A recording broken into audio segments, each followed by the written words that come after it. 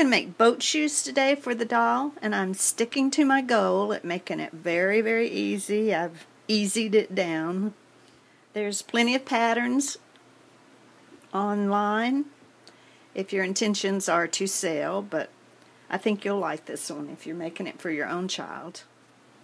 I've included in my Etsy pattern this time a combo, which will be the shirt, the cargo pants with the pockets, and this boat shoe pattern. Check out the link in the description box. And to make it even more easy, we're using fabrics that you don't have to line and that they do not fray. And of course the easiest fabric is felt. I started out with using my pattern to cut out the felt piece.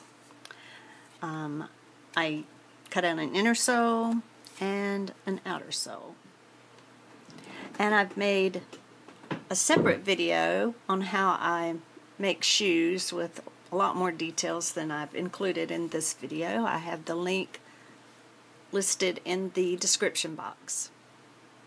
I've also included this little pattern for the tab. I tried doing all the details while it was flat, but I feel like it's going to turn out better if you go ahead and make the shoe and then add the details.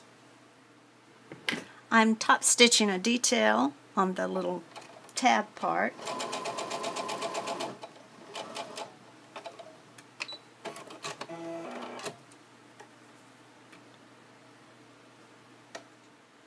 Okay, next you're going to put a dot of glue at the front of the shoe. I sewed the back of the shoe, you could glue it. And I made sure that it fit around the inner sole and now I'm going to glue the rest of the shoe. You glue on the outer sole with hot glue gun. In the previous shoe video I showed you how to take a placemat and cut it into strips and that finishes off the bottom of the shoe and I'll glue that on. Now for the fun part, embellishing it to make it look like a boat shoe. I'm using this embroidery floss. And I like this this um, off-white kind of a beige. And let's see what I'm doing is taking the six strands and separating it into three strands I have three strands. I thread it into my needle and tie a knot at the end and I'm back to six strands and that should make it thick enough for my purposes. I'm going to clip just kind of at an angle and a fourth of a inch down because I want to fold this over to make it look like a boat shoe.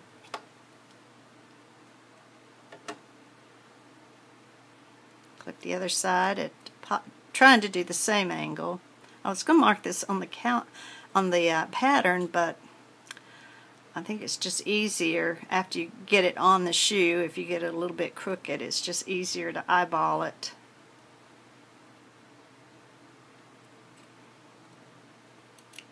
And that's about the same.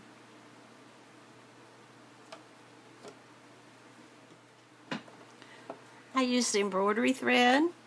I turn down a little flap and just an up and down running stitch and then I made a faux moccasin type stitch you know they're usually like that but I just up and down here. I'm going to attach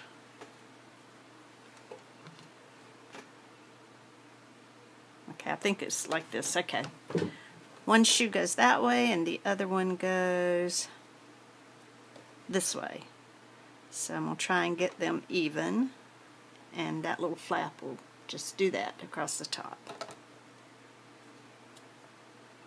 I'm going to hand sew it. Alright, I did I did hand sew it. You could glue it, but I'm a little messy with glue, so I'd rather hand sew. And so when you flip it over, it's a nice finish there. Now I did hot glue the tab down. And little boy's shoes, um, it's usually vel a Velcro, but I didn't want to go the trouble of sewing Velcro onto the shoes. So I put a little dab of glue right there and stuck it on with a little bit of this uh, tab showing. You could round off the tab if you want to. Like that.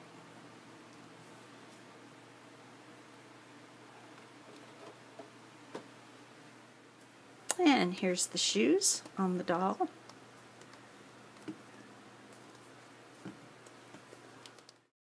And thanks for watching.